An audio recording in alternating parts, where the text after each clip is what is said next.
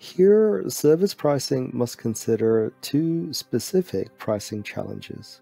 The first, in order to price a service, it is important to define the unit of service consumption.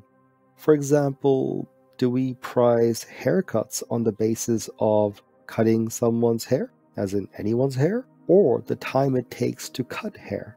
You may have noticed last time you went to a barber shop that there are different prices for different services.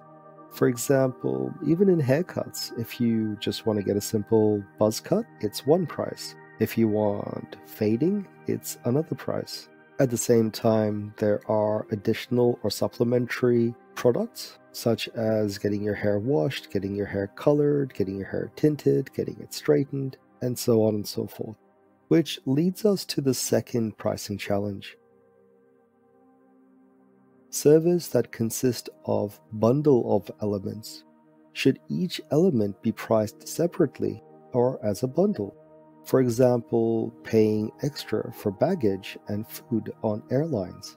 You will notice that full service airlines tend to bundle their price together, as in you're flying from Melbourne to Singapore via Singapore Airlines, and as part of their service, you're going to get meals on the flight, you're going to get alcohol on the flight, you're going to get access to their entertainment, as well as a baggage allowance. However, if you fly, say, Jetstar or any other low budget airlines, they will tend to price each element separately. As in, if you want to pre book or buy your meal in the flight, that has a cost. Entertainment pack, that has a cost. You want to take more than just carry on luggage? That also has a cost. Heck, if you want to decide which seat you're going to sit in, that has a cost as well. If you're wondering, is there a right or wrong way of doing this? In reality, it really does depend on the service that you're offering and the perceptions of your client or customer base.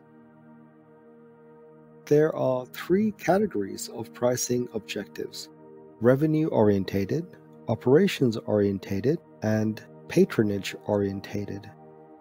Pricing objectives are the goals that guides your business in setting the cost of a product or service to your existing or potential consumers.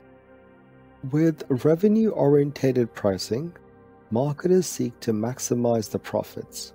For example, surplus income over cost or even simply to cover cost and break even. In reality, we want to be doing much better than breaking even, because breaking even means we're not making any money, but we're also not making any losses. But in reality, we want to make money.